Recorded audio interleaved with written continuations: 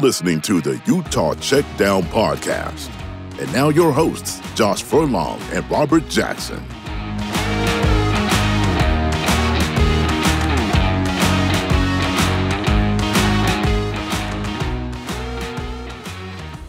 Welcome back to another edition of the Utah Checkdown Podcast. I'm Josh Furlong, joined today again with Robert Jackson as my co-host. We also have with us today wide receiver from the University of Utah, Solomon Enis. How's it going, Solo? It is going good. Glad to be back for another week on the podcast. That's right. We got to do this now. Glad to have you back. Before we jump into the most important stuff, obviously being football. So I had lunch today from the Chicken Shack. Okay, this is no sponsor.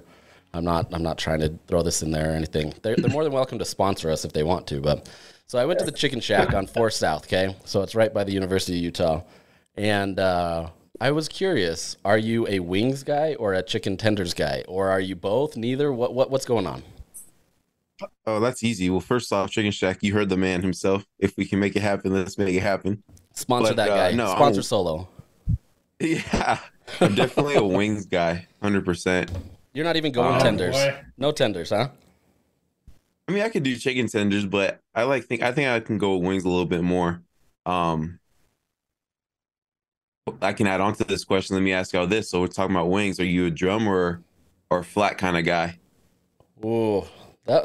I'm a traditionalist. So, like, uh, my, my kids wanted pizza. So, what do I do? I order wings because that's what I want, right?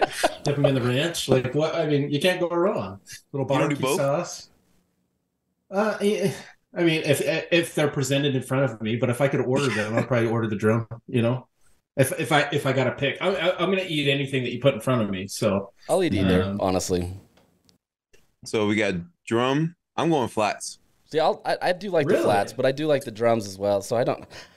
I'm I'm gonna be the the heresy here guy, and I'm gonna say the chicken tenders win out for me though. Oh, oh, oh. Look, I'm not I'm not like Oh. saying you know chicken wings know. the are conservative, humble answer from Josh Furlong. the terrible answer from Josh, right? Chicken Shack sponsor Josh Furlong for the podcast. They're not gonna sponsor us now, thanks. Yeah.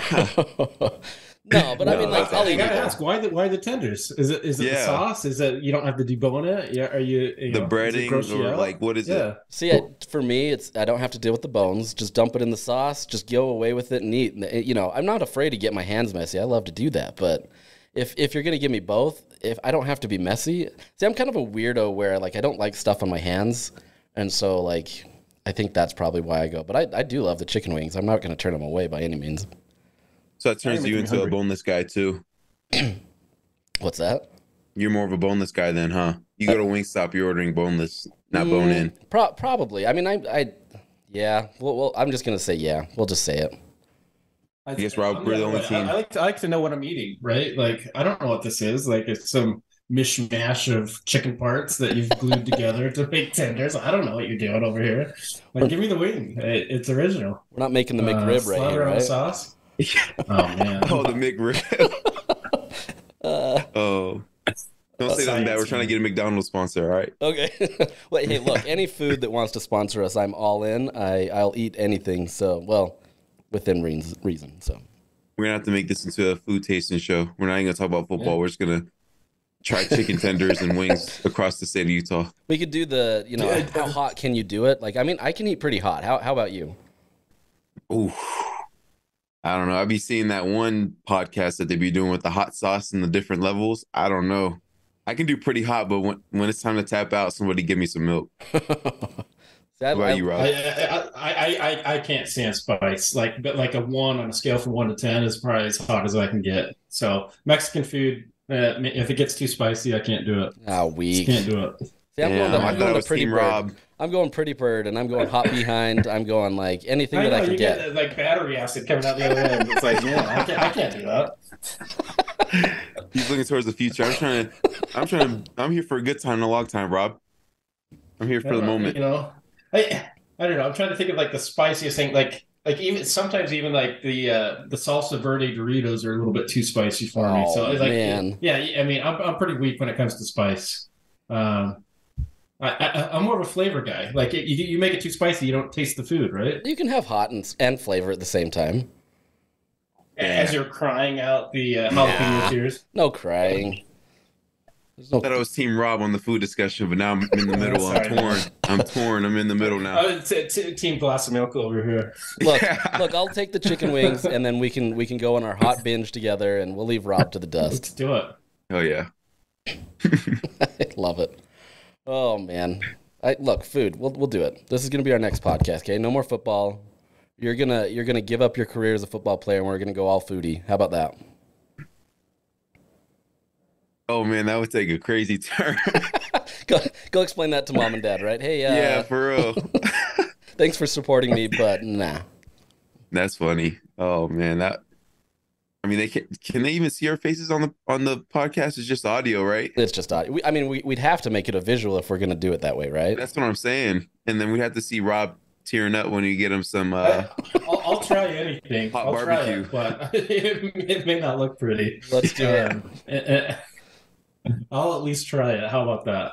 I want to There see you go. get to at least a I- level uh, five. Level five. Okay. I you know, I mean, next time we're next time I'm in Salt Lake, we'll do Pretty Bird and we'll do a level five.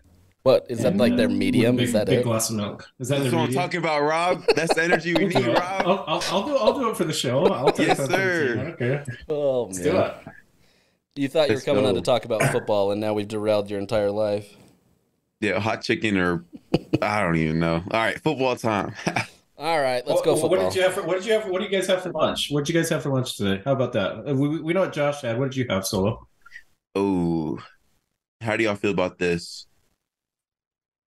Lemon pepper tuna fish sandwiches. I'm not. A, Lemon I'm not a fan of. Pe- Le- uh, lemon goes with fish. I I'm- can get behind that. I'm no tuna fish guy though. I like fish and I like all that, but I'm not a tuna fish.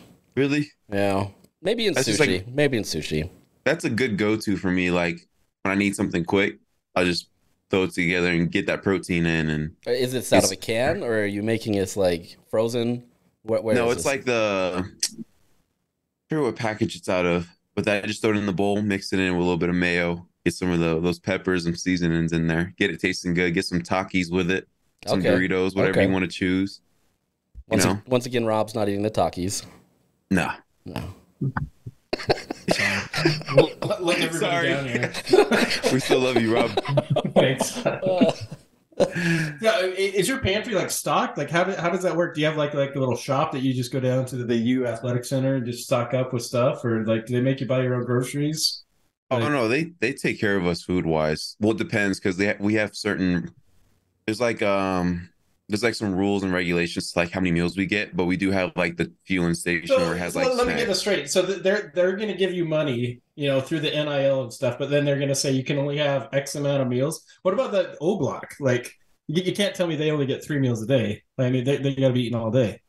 Well, sometimes if we're there all day, we'll get three meals. Like fall count, we'll get three meals, but like when it's spread out through practice or like bye week, some some days we get two meals. If it's a shorter day when we're not there all day, we get one meal. You know, stuff like that. But um, I mean, they still take care of us, though. They make sure Okay. that it's not like okay, you get one meal, you're not eating the whole day. Like they make sure that there's snacks or anything around the facility. Like they take care of us. It's it's all good up there. yeah, I've heard. I don't want to make it seem like they starve us. So I, I remember. I'm trying to remember what basketball player that was years ago that said that they weren't getting a lot of food. I mean, obviously, a lot has changed in the NCAA since then, but uh, I remember hearing somebody that's like, it's it's tough, right? Like it's it's not easy being a student athlete, and obviously, some of those have been relaxed now, and uh, you're able to get more, and people can feed you more, and different things that way. But it's it's crazy to think that you know we're we're we're going to bring you guys on as a scholarship athlete, and then have all this stuff and then not really let you have what we have. Uh, That's not what we're saying here, but like in the past, right? Like crazy to think that that was even a, a, a thought. And it's just more, look, I'll say it. The NCAA just is a scam. So Well, yeah. I mean, when I was coming up through high school, I mean, a lot of my coaches played in, in college, and they would say like there was only there was times where they would end up with three hundred dollars a month that they would just have to. That's like or four hundred, or then that, they had to take care of a whole bunch of stuff plus food plus this. You would trade people this this. I'm just like, I mean, we came a long way, mhm. but I mean, what you're saying is like from like past experiences. I've heard it too from like my older coaches and stuff like that. Which is crazy to think of. I mean, it's I don't know. It's it's good that you guys are where you're at, right? Like, I mean, it's hard enough just to think about the fact of how much football you'd have to do. Then you'd have to probably get a side job if you could, and even then, I don't know how. I mean, that's got to be hard to get around NCAA regulations and stuff like that. But we're not there now, so let's not dwell on that past. But let's yeah. let's jump into the bye week. So so what does a bye week look like for you at the University of Utah? Obviously, it's a little different in the sense that you have a game on Thursday, so it's a shortened bye week, but uh, it's still a bye week nonetheless. Yeah. So um, I mean, same old same old how regular bye week would go. A lot of guys needed it, and it uh, it was beneficial. Um, you know, just to heal up those bumps and bruises, especially after that those stretch the stretch that we had already. Um, and then a lot of game planning, a lot of watching film, and then just right back to it like nothing like a bye week never happened, right back to practice and just hop right back in. Is is this a condensed week for you guys? Uh, you know, you have the game coming up Thursday. It's on the road. Does, does do you skip a day? Do you not? Do you walk through? Like, how does a shortened week kind of factor in when you had the bye last week and then the game on Thursday this week on the road? Um, yeah, so they they make sure we have a, enough time to get our bodies back, get the recovery we need, but you know we're still practicing. I think that's just, I mean, Coach Whitt is big on preparation. Our whole program is built off of that. Our culture is built off of Hay's never in the barn. Um, so I mean, we're still, yeah, it's eh, the the game is pushed up, but now we had to alter days that they turned into like regular days of the game week. So for example, Friday's practice would have been more of, I mean, I can't even think of it.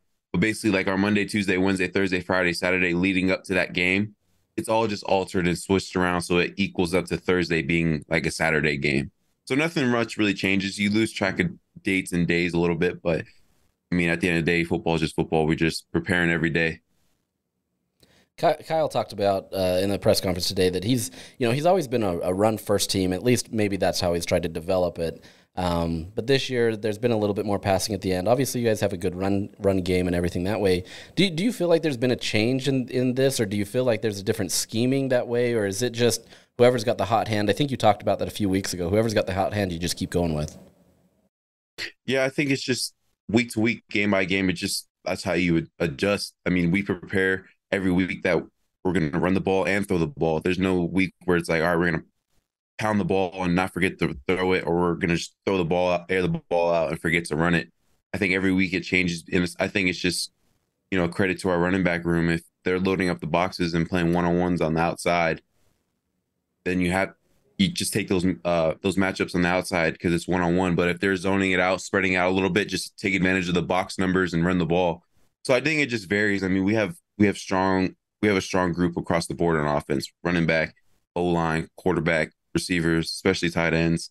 Um, I mean, you can go down every group and name someone from that group or name a couple guys from that group that our offense utilizes very well. And Coach Led knows that. And uh, you know, I think it just varies week to week, game plan to game plan. Last week, you guys obviously get uh, well the week before the bye week. You guys obviously get that you know big emotional win. It, it, took a lot to be able to get there, especially trailing down. How how hard is it to be able to keep that momentum moving forward? Do you do you feel that kind of fizzle out as the weeks go, or or is it nice to be able to kind of have that for a two week stretch, knowing that you're going into a hostile environment? Um, I would just say that never ride the highs too high, never ride the lows too low. I think you know, just be where your feet are, enjoy the moment, but make sure that you don't lose hindsight of what you got going on or what you what you what the team's got going on.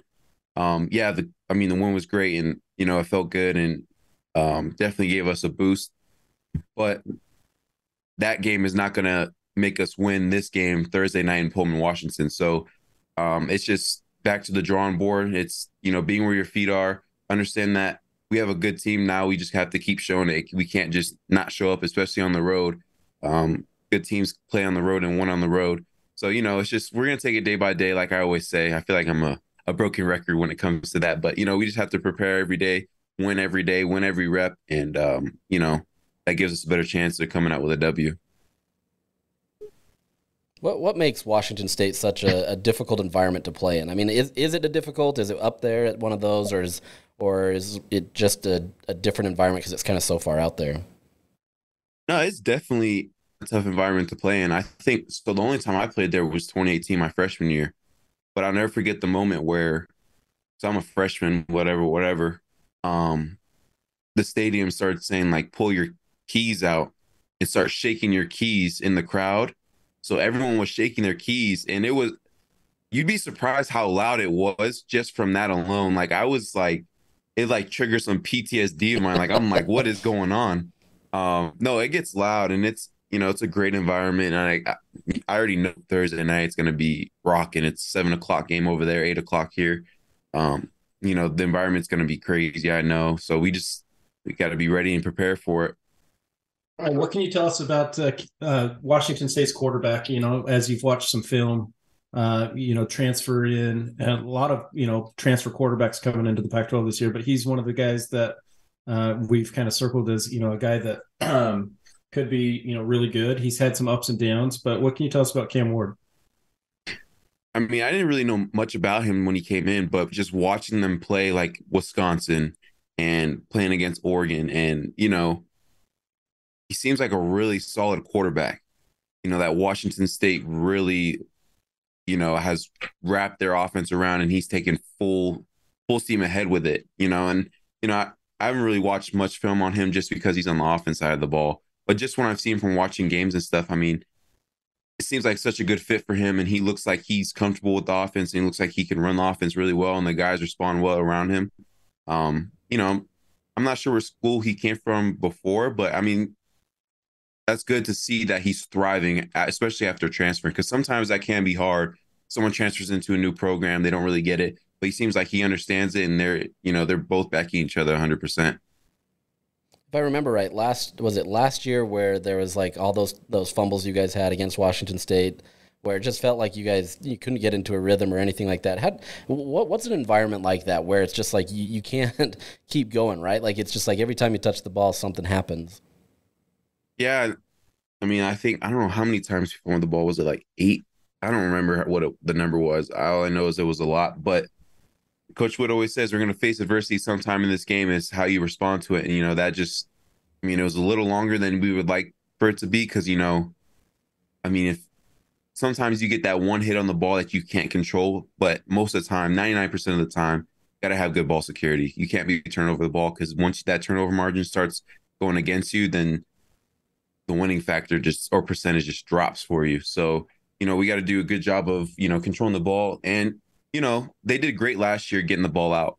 You know, we had some things to work on ball security wise, but I mean, they're a great team. They knew when to punch out and stuff like that. So, yeah, we just got to make sure that you know we keep those turnovers down, and uh, you know, just when we have the ball, just take care of it because, like Coach Whitt says, we only get ten possessions, maybe a game, in this day and age of college football. So you have to cherish those and make sure you're you're getting the most out of those ten those ten uh, drives.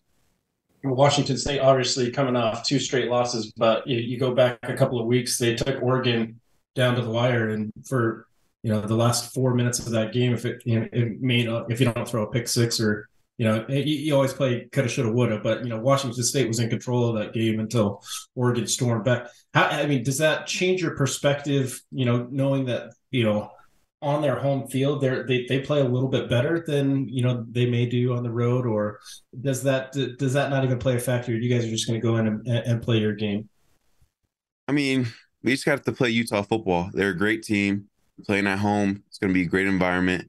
They're going to be ready for it. I mean, that's how it was for us for USC. We knew it was going to be a big game. Crowd was a huge plus for us. And um, you know, they're a great team. You know, just me, I mean, put on the tape. And like you said, they came up short a couple times.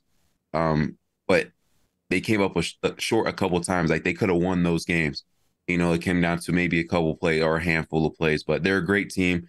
We know we're they're gonna we're gonna get our we're gonna get their best shot in a great environment at their home stadium, and uh, we just got to be ready for it. Just you know, prepare like we can, and you know, know our assignment, execute it, and just play Utah football at the end of the day. The Pac-12 hasn't always been known for like a defensive def- uh, destination, right? Like obviously you, Stanford. Uh, there's been some other teams up and down where the, the defense has, has been pretty good. But it seems like this year the defense has improved across the Pac-12. Are, are you seeing that, or, or are there different things that you can see that kind of show what's going on in the Pac-12, or is there a different year where you feel like, oh, it was really tough going against these these teams because everybody was stacked? You know, I just think it goes into the the conversation of how competitive the Pac-12 really is. I mean, people always always saying something bad about about the Pac-12, but it's like since we play each other so much, that's why you know we have such good teams in the Pac-12 that there's not always one that's like, oh my goodness, like they're standouts. I mean, you always have those one or two, but it's just such a competitive league and we're always playing each other. It's just something's bound to happen. I mean, it's football. You can you can never really predict football the way you think you can because something always can change up. Or like how we were just talking about a couple seconds ago, one or two plays that can change the whole game.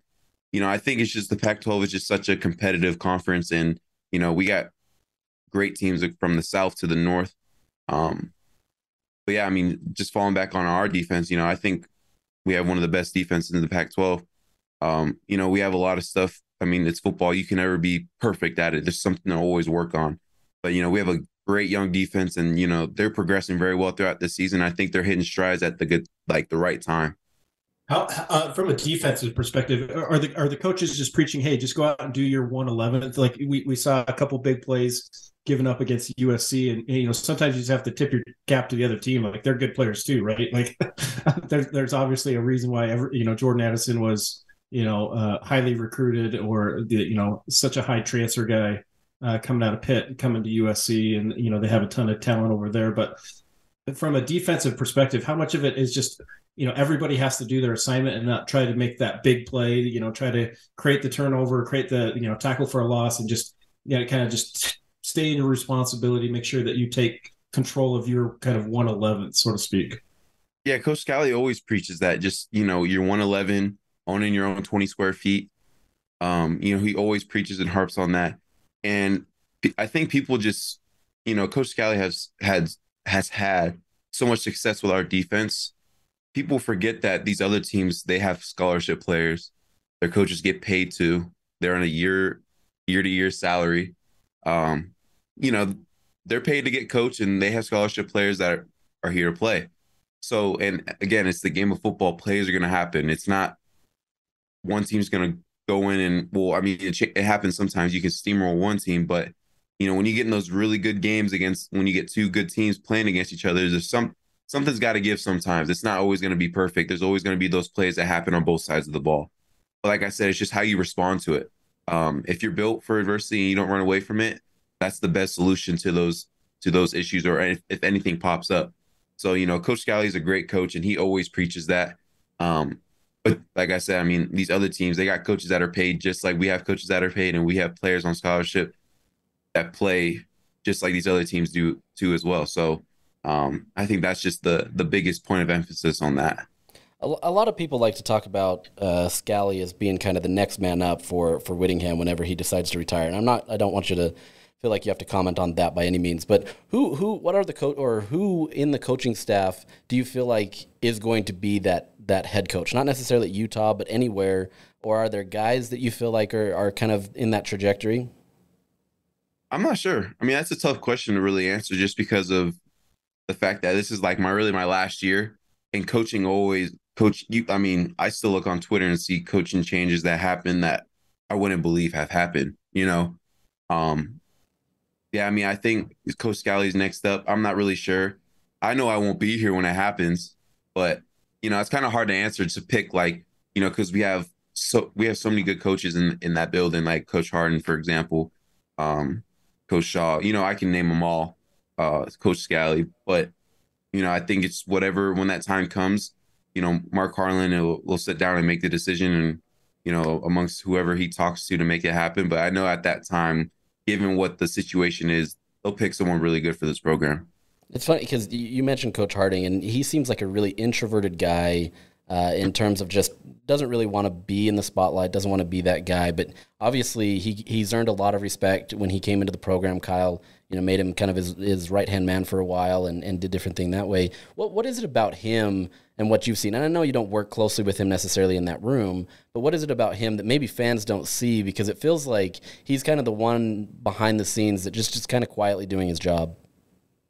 I love Coach Harding. He just you could just see that he has so much passion and love for the game and um, you know, during the games in those in those huddles before we break to go like when we have those TV timeouts or anything like that, he'll talk to the group and you know, I just it's like I ha- like I have to like look at him. It's like this like just what he's saying, you know, you just respect so much what he says and he knows and his knowledge for the game and his passion and his his love for the game is just contagious and like you said he's very I mean on the outside looking in he could look introverted or whatever, but man, at practice and games, he's flying around screaming, having fun, and you know it's contagious. Just bringing that energy and you know it radiating amongst the, uh, the other players, and including myself. I do have to admit, watching coaches when they're coaching is, is kind of an interesting thing because you have these guys that are, uh, uh, I wouldn't say reserved, but they're a lot more. Uh, uh, I don't even know what to describe them. They're just a different person, and then you go watch them coach, and it's just like they're fiery, and and you see a whole nother side of them. I mean, that's got to be an interesting perspective to kind of see some of these guys when you when you go on as a recruit and you're looking at these guys. And I know you get some of that experience on official visits, but to be able to then get into it, I mean, is it any different than than uh, high school coaches or anything that way? Like, does the intensity change? Well, I I would say it changed a little bit. I mean, just with these college coaches, it's business, but we're still playing a kid's game. You know, and that's where that that that business front comes up. But when it's time to play, I mean, we're still playing a kid's game that we all played and grew up watching when we were younger. So like you can't help but just, you know, have that fire and energy running around. And if you don't, then you shouldn't be playing football, you know? Um, but comparing it to high school to college, I mean, there's more, I mean, there's more on the line when it comes from high school to college in the sense of there's jobs, there's money because of TV deals, this, that, and the other. But at the end of the day, it's just football. You know, the business was slapped over football. I mean, you can go to the park and play football. You know, it's it's still a kid's game, and I think sometimes people get caught up in, you know, championships, this, that, and the other. But like, obviously, you want to win, but it's it's football, man. It's not the end of the world.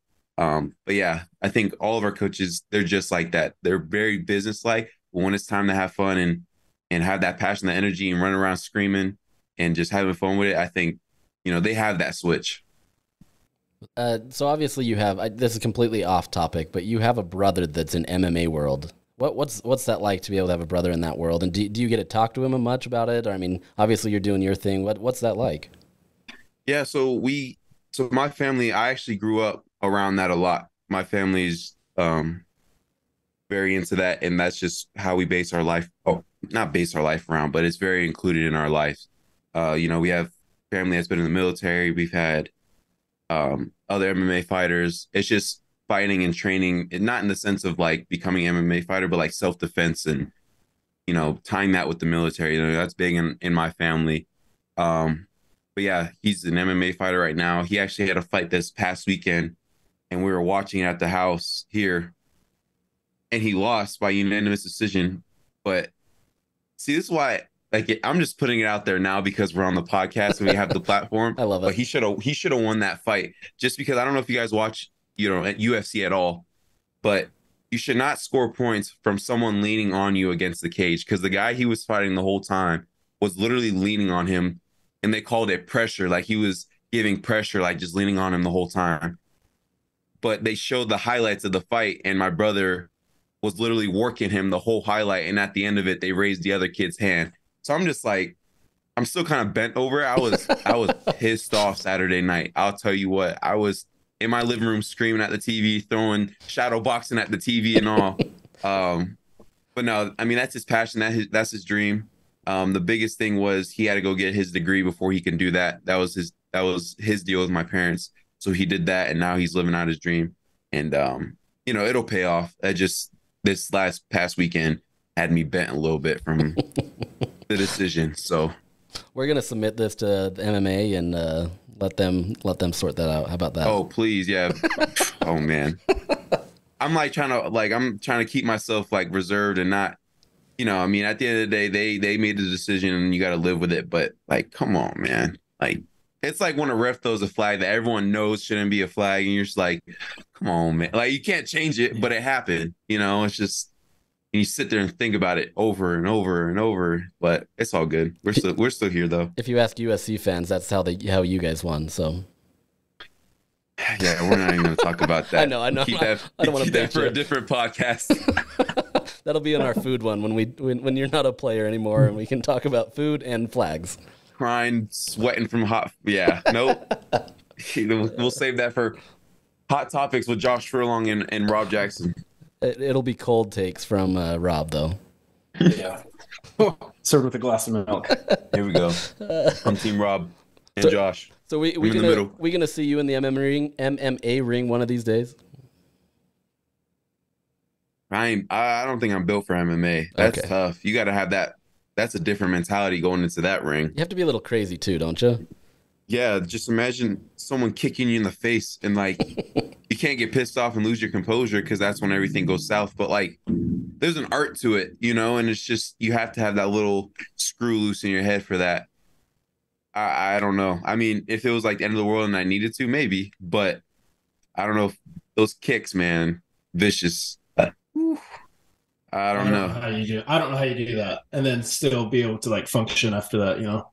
That's that's exactly what I'm saying. Like, I mean, just slap your shin one time and feel that coming like hitting you in the head full speed. I, I stubbed my toe on the dresser coming out of my kids' room or something, and I'm I'm done for the day. no, I get stuck I get on my that. O block and that my toe just feels like it's ripping off. I'm like, uh uh I mean, football's kind of the same. It's physical, but not like that. You ain't got no. You only got a mouthpiece, and that's it. Yeah, I, I, So- I can't imagine taking hits to the face with the leg or you know being punched or anything. I don't know. That, that's And you hear different. the crowd, ooh, ooh, and you're just like, damn, am I getting beat up right now? Like I can't even tell. My eyes halfway outside of the socket. You know, it's. Did I saw Cam Rising and I think it was uh was it Dalton? They went to the UFC card here. Uh, did you? Did any of you guys go or did you go or? Yeah, so my girlfriend and I went, Okay. and man, it was a great time. That, that it was such a good time. Just see, like it's crazy though, like this sport, like how like so much of a gladiator sport it is, but like it, you have a lot of appreciation for these fighters because they put so much time in, and you can tell like they're really working it. And you know, it was just in Salt Lake.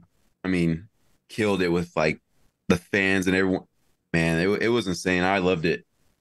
That's awesome. Did I, you guys get to go at all or I, no? I had uh, I had a press credential to go, but then I couldn't make it go. I can't remember what it was. I think I had a kids baseball tournament or something, and I, I Mm. think it'd be a blast. I mean, I'm not I'm not a huge MMA guy. I haven't watched a ton of it, um, but I, I I like the idea of it. If that makes sense. I mean, I I think I would watch it. I just haven't had time for it. I don't know about Me too, Rob. man. Yeah, what do you think, Rob? Uh, I'm all for it. You know, I uh, I've never been in person. I didn't get the chance to go this last time out, but uh, you know, if I think that uh, if you're offering to babysit the kids, then uh, I'll take the wife. We'll go. So we need That's the hard thing with three young kids. It's hard to do anything, hmm man. But uh, one day, it doesn't get easier when they get older, man. Once they're teenagers, they don't get easier either. yeah. you got to at least give me some hope. No. Something Yeah, I was look about to say I, I can't. I, I'm not speaking on it because I don't know nothing about it. So y'all on your own with that one. There's no hope. Just it's there's no hope. No, I'm just kidding. No, I actually have it. It's fun. Like when kids get older, I actually have my kids. They'll do podcasts on their own now, um, and so they. That's awesome. my uh, my eight year old. He really wanted to do a podcast over the weekend, and he uh, he he had this whole thing scripted out. Wanted to go write it, and so we sit there and he's talking about all of his favorite NFL teams and like talking about how they're undefeated or this and that, and it's it's fun. I enjoy that kind of stuff now that they're older and they they love the sport. I mean, they make their own top twenty five lists every week and criticize me when I don't have teams in certain spots or whatever. So it's fun. That'd be that'd be an awesome podcast to have. Yeah, you you can go on with them too if you want. No, I'm just kidding. Uh, NIL deal. Yeah, exactly. I'll, I'll tell my ki- kids to pony up and. Uh... That's awesome, man. That's good to hear. All right, Solo. We appreciate you come every time, and uh, hope you had a good bye week and that you guys are all healed up and, and you're ready to go. Any anything any parting words before uh, we send you on your way? As always, subscribe to these guys, man. They're great people. We have a great time, and if we if we get more subscribers on it, then we'll we'll give you a little hot take, and, and you guys pick where we got to eat food from, and we'll make it a little visual podcast. I don't know how this is gonna work, but make sure y'all show some love and support. Share it to, send it to your friend, your auntie, anybody you know. And uh, as always, it was good being with you guys. I appreciate it. Appreciate it, man. Have a have a good one. You as well. Bye. Yeah, go get some good chicken wings. All right, Joe. Take care. Oh, we got we got chicken wings. We've got uh, MMA. Hey, this food podcast is a great idea, man. Like, especially right around lunchtime. You know, man, like people, people, people would uh, hit that up. You know, I'm, I'm just uh, salivating over here thinking about chicken wings now. just not spicy ones. No, I I mean I like the I'm spicy ones. when it comes to that. I know. I've, Yeah, I mean, you always get the uh, the what is it, the hot behind at Pretty Bird. Yeah, I can't do it. See, I feel like Um, I just- feel like Pretty Bird's hot behind has gotten less spicy, and I'm a little upset by that. I don't like I don't like going to places and they're like, oh, this is really spicy, and then you go try it and it's like, yeah, it's fine. But I know for other people, like my wife, for example, she's she 100% does not like spice. So for her, that would be like destroying her her taste buds and everything. But for me, it's like, nah, I've had hotter, so I don't know. No. I, I, I think it's like a acclimation thing, and I just need to start working my way up slowly, you know, and eventually one day I'll be able to to keep up with you. But uh, as of now, and I am, uh, you know, I'll, I'll, stick to the Cool Ranch Doritos and stay away from the salsa verde ones. I don't know. Um, it's a good jam. I'm not gonna lie. Well, you know, uh, you can't go wrong with some Doritos and some Mountain Dew. So no. if they want to sponsor us too, you know, we'll Frito Lay. just just come and we'll, sponsor we'll Pepsi Corporation. Uh, we're we're taking offers. You know, it's, you know, talking about hot teams, Oregon um, absolutely dismantled UCLA. Um, college game day was there, big day in Eugene, and Bo Nix and company took care of business against you know a really good UCLA team that obviously you know got the best of Utah in the Rose Bowl. So what what are your two takeaways from Oregon and UCLA? Is this uh, a sign of more things to come for UCLA, or is, I mean, or is this just Oregon was just too good on this day at home? Um, yeah, kind of what were your impressions on that one? Yeah, I think it's probably a little bit of that one, right? Where it's it was a good day for Oregon. I think what what uh, Oregon's really gotten out of Bo Nix has been phenomenal. He's played some really great football. You know, watching him in Auburn was was kind of a frustrating experience because there was times where you saw the ability that he had, and then at other times it was just so frustrating to see what he was doing. And so when he came up to, to Oregon, you know, I think I even said it on this podcast. I was skeptical, right? Like I didn't think that that he would be able to do well, but for whatever reason, he's had a good restart up there outside of that Georgia game.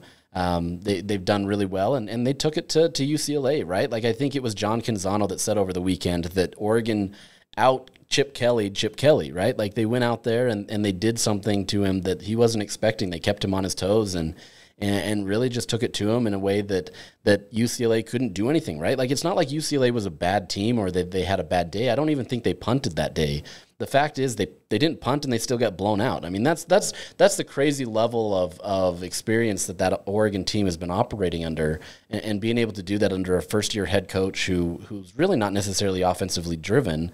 They, they've been able to to hire the right people. They've been able to do the right things, and and it's really working out. You know, look, I don't I don't know if Oregon is that much better uh, of a UCLA team. I think they are good. Um, I don't want to say that they're not the best in the conference because they absolutely are. But I'm curious to see, right? Like, was UCLA uh, kind of caught? Were they, you know, in a tough environment? Autzen Stadium, quite honestly, is one of the toughest places to play in the Pac-12, and so maybe it was a little bit of all of that and and everything. Because I still think UCLA is a good team. They've got good chemistry. They've, they, you know, they've got everything there. But it's a pivotal game that that UCLA lost, and now they're sitting in a situation where even though they only have one conference loss, that's going to be really difficult. You still got USC that you got to go, and that that game is going to be crazy. It's going to be a toss up type game. You know what what happens right now? Does you know going six and zero oh and having all the success mean anything at the end when you can't get to the championship? That's that's tough. I don't know. That's it, it's a tough uh, scenario in, in in the way the conference is shaking out now, where the top two teams come, and you don't necessarily have to beat everybody else in your division. It's now you've got to beat everybody, and and, and I think in in some respects that that really hurt UCLA in that loss. What about you? Well, uh, two takeaways from this one, and, and and the first is a credit to Utah. Is you never want to be playing. You never want to play a, a good opponent the week after you have to play Utah sure. because you're getting beat up. And we saw it with UCLA. UCLA obviously got the win, but they were beat up. Yet you saw the guys limping to the sideline. I, I don't know what their injury report looked like, but it's just a physical game every time that you play Utah.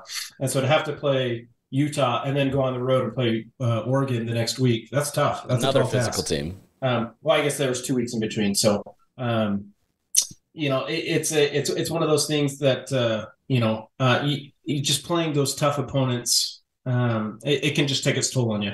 The second thing is home field advantage in the Pac-12 has been on display this year. We saw it with Utah edging out USC. We saw it again here this last weekend with Oregon, you know, defeating UCLA. This is uh, I for what I, I think I saw a stat from Jon Wilner that the home favorites are like, like uh, undefeated in Pac-12 play. Is that? Is I think that, it was. Maybe I think it was thirty to one. I think it was thirty to one if the or was it thirty to one? That seems high.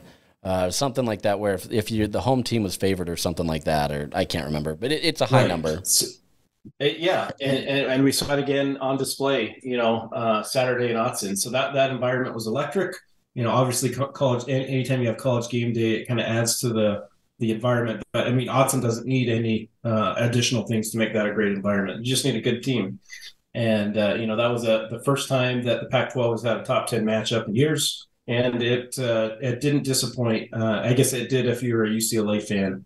But uh, I mean, what a great what a great game. Um, a great, I mean, yeah, one punt for both teams the entire day. Um, and uh, Oregon obviously outlasts uh, UCLA and gets the 15 point win. Other than that, there really wasn't a whole lot of uh, you know football being you know good football being played in the Pac-12. We saw Washington defeat Cal by seven on the road. Uh, you know, you, you, just wonder how motivating it is to go uh, into Berkeley and play. Um, you know, Washington improves to six and two. We saw Oregon State just throttle uh, Colorado at home, forty-two to nine, and then we saw a Stanford team defeat Arizona State fifteen to fourteen. And this is a couple games in a row where Stanford has won while putting up, you know, I, I wouldn't say baseball type scores, but similar. Like they're not scoring a ton of points, but they're they're still finding a way to win, and that's you know with you know maybe 200 people in the stands. uh, maybe that's generous. But uh, you know, I, I well, and what are your t- kind of takeaways from the you know the, the, the weekend in Pac-12 outside of that Oregon game? Did anything stand out to you? Um, because it was just kind of like a whole hum, you know, status quo type of week for me. Yeah, I, I, I kind of came away with the, the same impression over this weekend, right? Like the the Stanford win surprised me a little bit, um, but not enough to really change anything in my eyes. It really wasn't a weekend that that convinced me about anything other than maybe Oregon, right? Like I, I watched that and I was really intrigued. I, you know, following that game, I decided to kind of look at, you know, I like to look at the, the you know, the conference odds and different things that way, how the things are, the season's going to stack out. And it, it's interesting to me that, you know, if you look at taking Utah as, as, the team, if you look at Utah, they're favored in every single game for the remainder of the season except for that Oregon game. And now, you know, I would have expected that uh, Oregon would have been favored by a lot more. But, you know, if you look at ESPN, there's other metrics that you can look at, but I'm just going to simplify it with ESPN's FPI. They, they have it almost as a toss up game still, which is, is crazy. It's in Autzen Stadium. It's in you know in an environment that's still really tough and you know it's it's a scenario where that game is still a toss up. So it's like you know we've we've looked at this Utah team, and I think a lot of people have been really frustrated at, at times with with how Utah's played, especially after that UCLA loss. It, it, this team is still a, a, team that can compete with the, the upper echelon teams in the Pac-12, right? Like you obviously beat USC. Uh, UCLA was a bad one, but now you get o- Oregon. And quite honestly, that's going to be the game that's going to decide, in my eyes, the Pac 12 championship game, right? It's one of those games where you've got your top four teams. You still have Oregon, UCLA, USC, and Utah. I think those four have really cemented themselves as the top four in the league. Outside of that, you have Oregon State and to some extent Washington. Although I don't, I don't know if I would want to categorize them there. They're still kind of lurking, right? But but you've got these teams that are all trying to compete for that Pac-12 championship, and it's you know you, get a nice win against UCLA for Oregon, and you're still kind of in this locked battle with with the remainder of the teams, even though you haven't lost in conference play. So it's it's going to be interesting. That's still three weeks away. There's there's nothing to worry about in, in that respect. Utah's still got to win out. They've got to be able to do what they need to do to get there. Um, it's it's a tough road, but look, this weekend didn't change my opinion on anything. If anything, I was I was left more impressed by Oregon and, and their ability to be able to do it. But the reality is, is they've still got games to play as well. They've got to slip up. Um, you know, Oregon State's going to be a tough game for them. It's not going to be an easy game. So the the remainder stretch for these teams isn't necessarily going to be easy, and I don't think it's going to be easy to figure out who's in that championship game for quite a while. No, so I mean, you talk about um, not letting a team beat you twice, and you look at who UCLA plays this next week, and you know, I'm not calling the upset, but I I think that if UCLA kind of has that hangover from from losing on Saturday to Oregon, they could potentially lose to Stanford, and that's a that's a tough matchup. Oregon goes on the road uh, and plays at Cal, and I know that Cal kind of hung with Washington uh, but I, I don't I don't think that that game's close. The, the interesting stretch for me for Oregon is the last three games of the season where you have to play Washington at home mm-hmm. in an emotional rivalry game. Uh, then they play Utah at home, which I mean they're going to want revenge from the two beatdowns that they had last season. and then they have to go on the road to Corvallis to play another emotionally charged rivalry game in the Civil War. That I mean, that's a tough three game stretch for Oregon. That you know, even if you go unscathed up until that Washington game, like who knows? Like you could end the season nine and zero oh in conference play, or you could end the season six and three, and none of those would necessarily surprise me. Uh, because you know that's just a tough three game stretch to prepare for. We saw it with Utah; they had a four game stretch that looked daunting, and they tripped up. They tripped up against UCLA, and we'll see how they do Thursday night in Pullman. That's a tough place to play. Uh, historically, Utah uh, hasn't pl- performed super well against air raid type offenses. Um, and you know Cam Ward can can maneuver around in the pocket. I don't I don't know. I haven't made my pick yet in Pick'em, but uh, you know you would think coming off a bye week, Utah would you know make the necessary adjustments defensively to to slow down and and Oregon State. Oregon State has a really good secondary, so you know you just never know. They held Washington State to uh, was it ten points? Yeah, so, yeah, um, yeah. We'll we'll see how how these games shake out and, and whatnot. But as far as Pick'em is concerned, um, I think I, I am the only one in the group that correctly predicted Liberty versus BYU, um, largely because you told me to switch.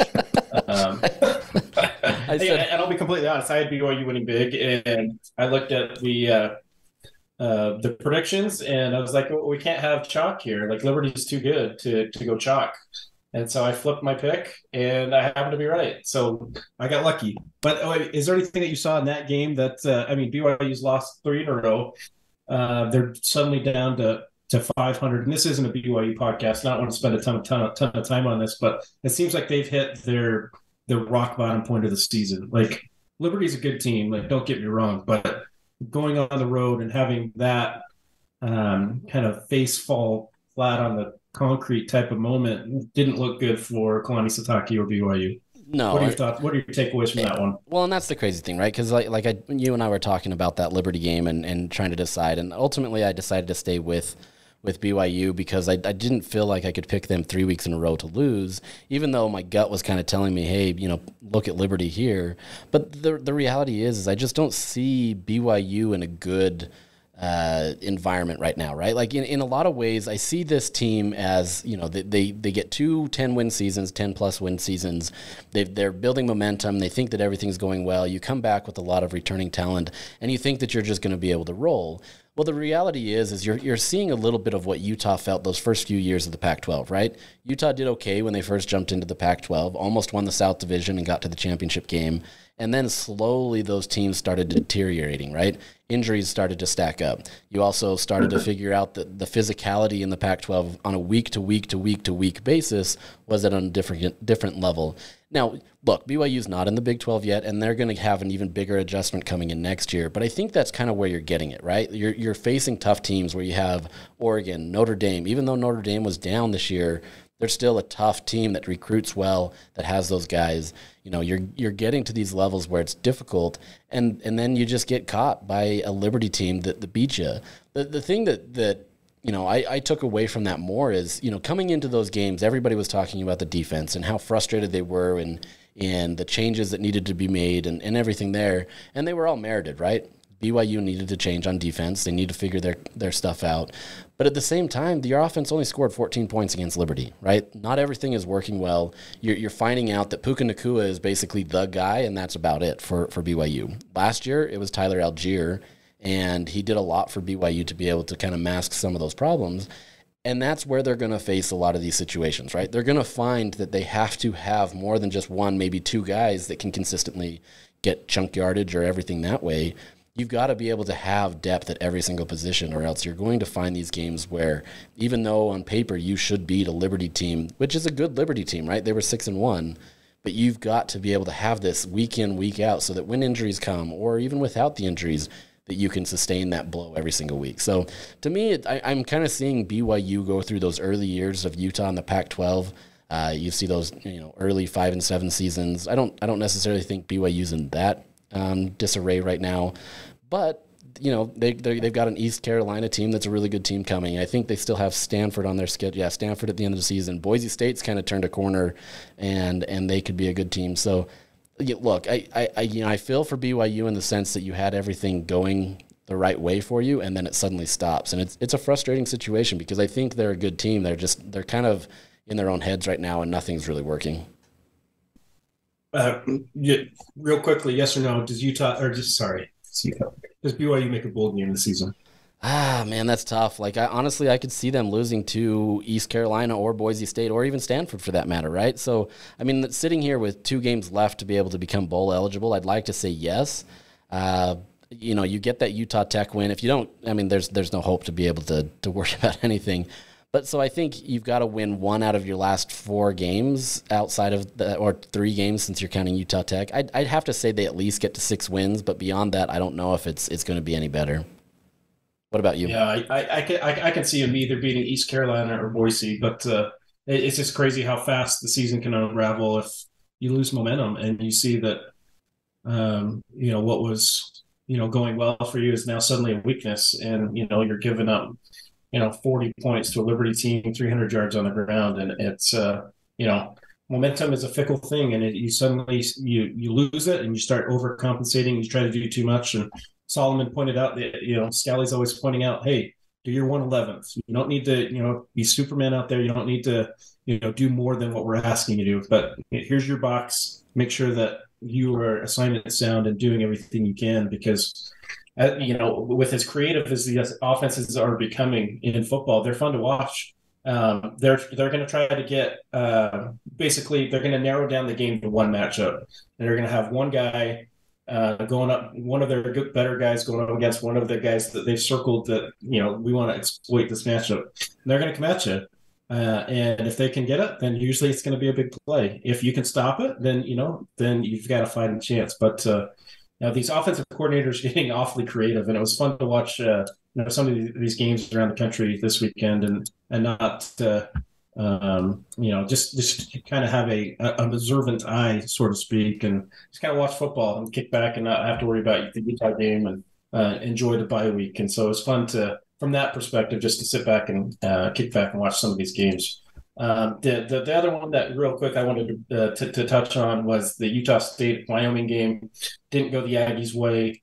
Uh, it seems like Utah State's injury report is longer than their active roster at this point. They're down to their fourth string quarterback, Bishop Davenport just didn't have the horses to hang with Wyoming and Laramie. That's a tough place to play as well. Um, had some big plays in the run game. Calvin Tyler uh, was able to keep it close there for a little bit. I, I mean, it was a six point game going into the fourth quarter, so Utah State still was was fighting, but uh, just didn't have the horses. Um, literally to, to hang with the Wyoming Cowboys. didn't have the horses. Unintentional pun. I like it.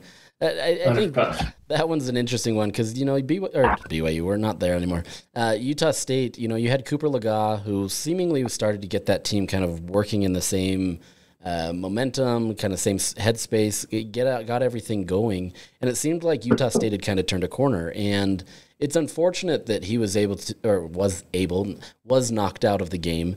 Um, and wasn't able to play because I think Utah State probably could have won that game, right? Like Wyoming's a good team. I don't want to say that they're not, but they kept that game close despite really getting pushed around all day on both sides of the ball, but kept it close found a way to be able to stay engaged in the game. They just didn't have a guy that has honest experience, right? I think Bishop Davenport last game, not the Wyoming game, but the one before that, those were his first reps that he's ever taken really in college. I think yeah, true freshman, not like a red shirt literally a true freshman playing his first snaps. And your fourth string, right? Like you're not getting a lot of snaps. The most snaps you got was in fall camp, but they're not giving you the whole entire playbook. They're not, you know, spending a lot of time working on you. You're there probably to redshirt or just to be able to be a depth guy. And the reality is you're being thrown into a situation that you're just not ready for, right? And and so as, as much as it is to look at Utah State and say how frustrating they are this season, I think it's just been a comedy of errors in in in the sense that they just haven't been able to get everything right on the same uh, on the same page, right? Your injuries with quarterback play, with whatever it may be, and it's unfortunate to see because uh, you know I was actually talking to my wife the other day about this. I said, remember at the end of the season when all three Utah teams were ranked in the top twenty-five, and now look at it, right? I mean. Utah's been you know good, but they haven't been as good as people were expecting. And now you've got BYU and Utah State that have have really struggled. Uh, you, fortunately, you have a, a, fun Weber State team that's done really well, and outside of four unassisted safeties from their long snapper, could have potentially Snap been seven and zero. Oh. Just take a knee at that point. I mean, what are you doing? Line up your oh punter like fifty yards behind. Nope. I don't Jeez know. Like it's Louise. at that point, you might as well just go for it on fourth down because you're going to get a safety or I don't know. It it's sad to yeah. see, but. Well, I mean, what's sad there with with Jay Hill's Wildcat team is they were in such control of that game it was like what twenty four to nine. Yep. I mean, you had everything going for you, and then it was just this comedy of errors that you, I mean, you couldn't take your eyes off of because it was such a train wreck. And unfortunately, Weber State was on the wrong end of that. Uh, you, you, rarely see, you know, yeah, bad snaps happen, but not four of them. I mean, that was just those are at like, some point you got to try something else. Like I, you know, there's times when you like watch a sport and you're like, oh, I could do that, and that's usually coming in like curling or something, right? But like, there's there's yeah. times there where I'm like, I think I could legitimately be a better long snapper than what just happened, and and I hate to like trash a kid, right? Like that's tough, but that yeah. it's it, it's tough, right? Like I, whether you're at their FCS level or or an FBS level I mean, you've got to be able to get a, a, snap that's better than that, and and you feel for the kid because that that's a tough environment. And the reality is, is you lost by you know the points that you gave up in safeties. So uh, tough environment. So uh, I don't know. well, uh, this week is going to be a fun one. We've got Utah on the road uh, going to Pullman to play Washington State. That one's on Thursday night at eight o'clock. Make sure you get your picks in. TV is FS1. Uh, hopefully, there's not truck racing before that, or you'll have to stream it on your app for the first quarter. I don't know. Gotta I haven't looked at the TV guide yet. I don't want to jinx it, but hopefully, there's look not at the TV guide. Is that what? Is that what we do now? is that what you do now? You got the magazine the, coming the, to you. I, I, yeah, I do. do you not? I, you know, to read. quite honestly, when I was a kid, I loved that. I loved when the TV guide came and watched what was going to come that week and read the previews. And I, I don't know, maybe I'm a nerd that way. Uh, uh, Friday night, uh, you are there, by the way. Uh, Friday night, East Carolina travels to Provo to uh, face a reeling BYU team that's lost three in a row. That one's on ESPN two at six o'clock. And then Saturday, the Saturday slate that we have here for KSL Pick'em, number two Ohio State versus number thirteen Penn State in uh, Beaver Stadium. That one should be pretty wild. It, it, as much as these big games, I, I, I don't like the big noon kickoff. It just doesn't do it for me. I, this this this deserves to be an under the lights seven o'clock kick, and it, it's doing a disservice to have it at ten a.m. But it is what it is. Uh, I I you know the early line for me uh, Ohio State favored by 10 plus. I I think I'm leaning more towards Penn State, maybe not to win, but at least to cover. That's a that's a tough environment to play in, and hot take. And we'll see how uh, Ohio State responds. Yeah, I'm not picking Penn State to win per se, but I think that, that this game could be closer than a lot of people anticipate. Uh, we'll stick in the big. We'll go to the Big 12 for this next one. Number nine, Oklahoma State versus number 22, Kansas State. Kansas State played tough with TCU, just like Oklahoma State did the week before, but uh, common result. They end up losing. Uh, TCU finds a way to win. Kansas State drops about 10 spots in the rankings. Um, what do you see happening here in Manhattan, Kansas? I think it's going to be a fun game, honestly. I think it's two good teams. I think it's going to be a good battle, and I'm looking forward to see it. And then we're going to the Sun Belt, Coastal Carolina at Marshall. Um, we're trying to get each conference represented at least once and pick them. We're going to have a tough time with the MAC. Maybe we'll have to do conference championship weekend or something because they play on Tuesday nights. Doesn't really jive with the pick'em schedule, but it is what it is. And uh, we're going to go Sun Belt. Coastal Carolina's good team. Marshall beats uh, Notre Dame in South Bend, so they're they're a pretty good team too. So this one should be a fun one. It's not the same um, Chanticleers that we saw in 2020, but still a good team.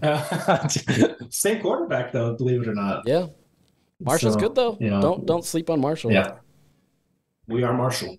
We are Marshall. Anyway, get your get your picks in. Go to KSL.com, sports tab, click on Pick'em, sign up. You can win some gift cards from Golden West Credit Union. It's fun to have you participate while you're on the site. You can also submit your top 25 pool. Getting a lot of uh, people submitting their ballots, and it's uh, and it's doing well on the site. I'm I'm, I'm happy that uh, with all the work that we put into it, that people are are enjoying it. So. Yeah, we're having a lot of fun over here. We want to make sure that you have a good experience that you're able to uh, pick some fun games, that you're able to, to rank the top 25 like like we're able to do and, and do different things that way. So, you know, come come back on KSL.com, do all that. We've obviously got all of your coverage for the various sports teams that, that we cover throughout the state. Um, and then also we have this podcast, and we're, we're grateful that you're listening to. Uh, please tell your friends, um, let them know, and, and help us uh, spread the word of, of the Utah Checkdown podcast. But we appreciate you uh, listening to us this time, and obviously for Solomon Enis for joining us, and we will catch you next time.